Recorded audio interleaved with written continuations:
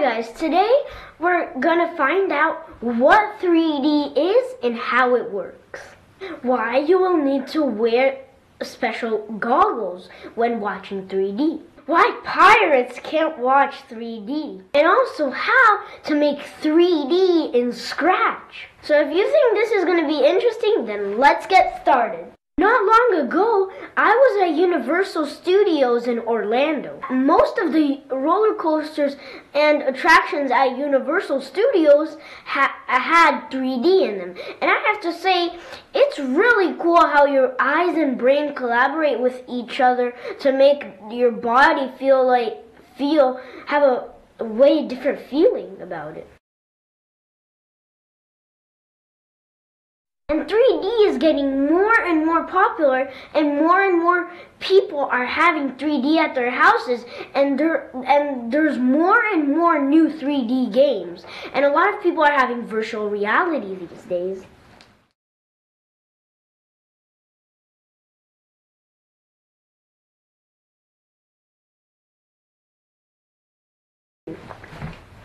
So every day 3D is becoming more and more popular.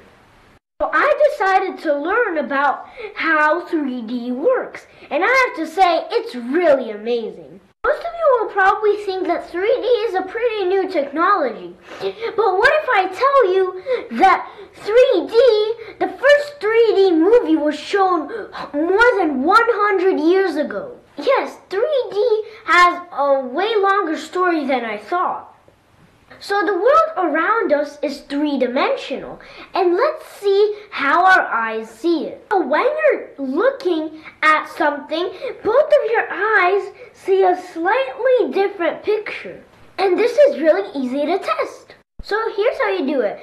Grab an object, for example, I got a I got my Christmas mug and and put it for far away from you, like this.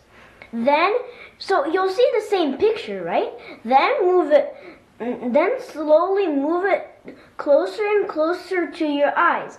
Then close one eye. You and you'll see one picture. Then close the other eye and then close that eye and open the other one. You'll see something up. You'll see something else, right?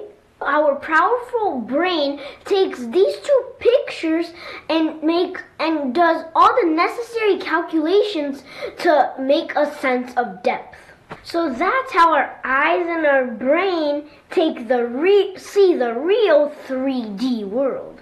But if you take a look at a computer or a movie theater screen, you're gonna see that it's flat. They don't have depth the 3D that you see in virtual reality or when you're going to a 3D movie is not real. It's it's just an optical illusion. So clever scientists and engineer and engineers understood that the only thing you have to do for that is to try to trick your brain. So the brain sees a 2D picture, a 2D picture, but will think it's 3D. To trick our brain, you just need to show two different uh, two different pictures on uh, for your eyes, right?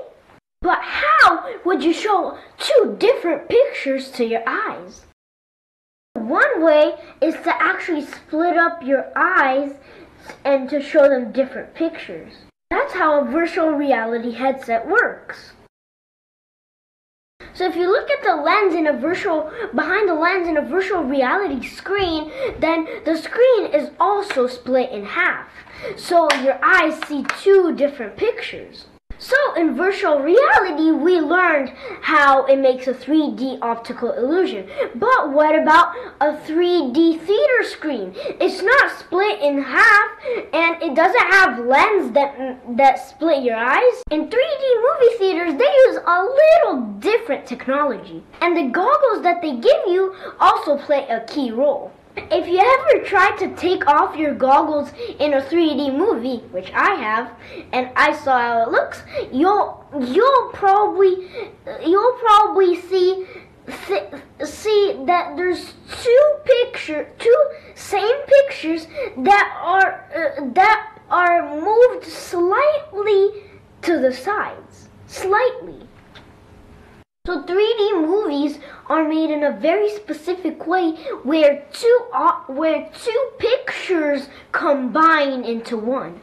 The 3D goggles uh, have filters on the lens to make one lens lens see see only one picture, but the other one it just it kind of like ignores. Same with the other lens. It ignores the one that this lens sees, but the but it doesn't ignore the other picture. So there's two technologies actually used in this. One, have you you've probably seen 3D goggles where one one lens is blue and the other one is red. And but in Universal they use ju- they just use clear goggles the goggles with the two different colored lenses, they fil- they filter the pictures by color. Or another technique when the when the clear lenses the clear lenses are polarized. And they also let one eye see one picture and the other eye to see a different picture. So now you probably understood why a pirate with an eye patch won't won't be able to see a 3D movie. And now it's time to do something. Since we're pretty familiar with Scratch, let's do it there. We we're gonna learn how to make 3D sprites, and of course you're not gonna have to buy 3D goggles and wear them to see the 3D, but it's just another uh, uh, trick. First step in making 3D objects or sprites is to create a costume. So this is done by slicing the object into, uh, into a couple different slices like a lemon. So for example, a cylinder will be a stack of circles. So let's start off from a simple example. For example, the worm I saw in uh, in a roller coaster at King Kong. So here I made I just made a background and uh and a simple sprite. By the way, this background is a picture from King Kong. Obviously, since we're making the worm from King Kong. So I just made two costumes for the worm. And the first one is just a simple circle that's going to play the role of the body of the worm. And the second costume is like the jaws of the worm. Great, now let's make the program for it.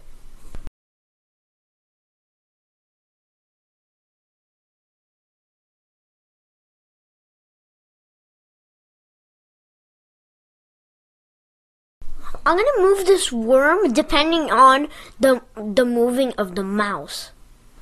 But since the numbers of x and y are really big, like 10, 30, 70, 100, we're gonna have to we're gonna have to make the numbers smaller.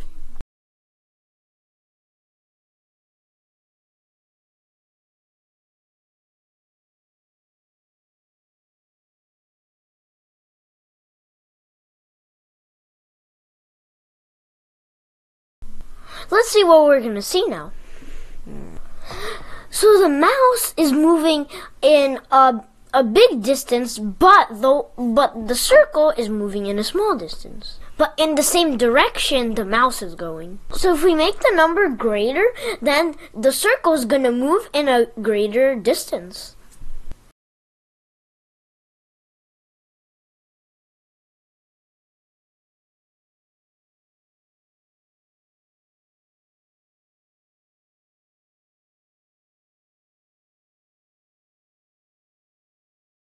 So now all we need to do is we have one circle, but now we need to make a lot of them. So, but Scratch recommends 16.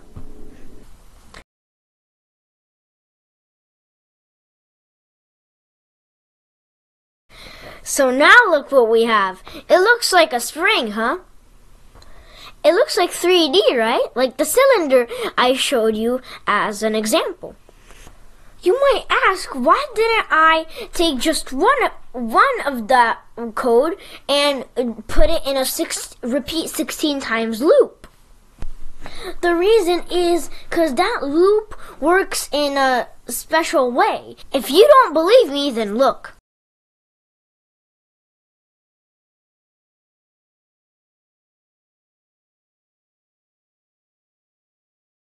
See? So now let's change everything like it was.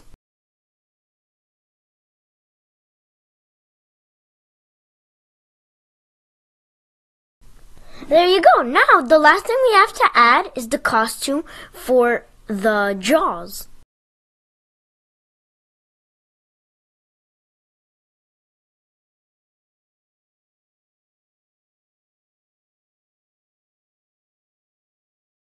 But now let's make something more complex and interesting. So now we're gonna see how to make a 3D person. So for it, so to be easier to for you to imagine it, it's like slicing. Uh, I got a Lego minifigure for it to be easier for you to imagine. So it's like slicing it in half in a in a couple pieces. See? So here I added a lot of costumes that are gonna make it look 3D. It works exactly the same like our worm. The only difference is that for the person we need more different costumes. Like a costume for the head, a costume for the shoes, a costume for the hair, a costume for the shirt. And some of the costumes we're also gonna use a couple times. For example, the costumes of the pants. So this is the costume for the pants. It might look weird, but it will work when you see it later. And the program's gonna be exactly the same like the program for the worm. And the program's already saved in my backpack so I don't have to waste all this time. So that's the 3D person that came out. Isn't that cool? Try your own 3D objects in Scratch too. I'll, I'll be very happy to see them in the comments. So now I hope 3D doesn't look like magic to you. Don't forget to subscribe to my channel, smash that like button if you like that video, and see you in my next video. Bye!